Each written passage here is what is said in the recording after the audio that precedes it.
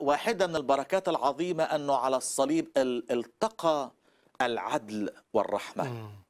أنا إنسان أثيم. أستحق عدالة الله لكي أموت إلى أبد الآبدين. والله يريد أن يرحمني. والسؤال كيف ينفذ الله عدله؟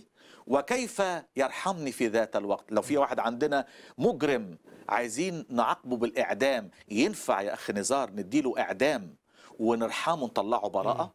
استحالة. لا. في الصليب تم تنفيذ الأمرين عدالة الله ورحمته.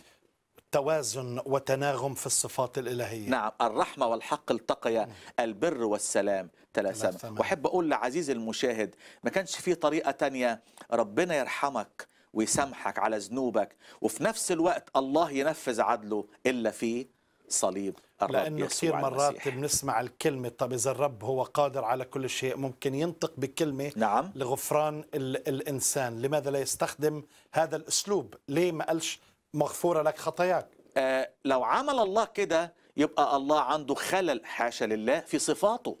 فالله آه تعامل برحمته لكن أين عدله؟ لقد بطل عدله. فالعدل والرحمة التقيا معا في صليب الرب يسوع المسيح.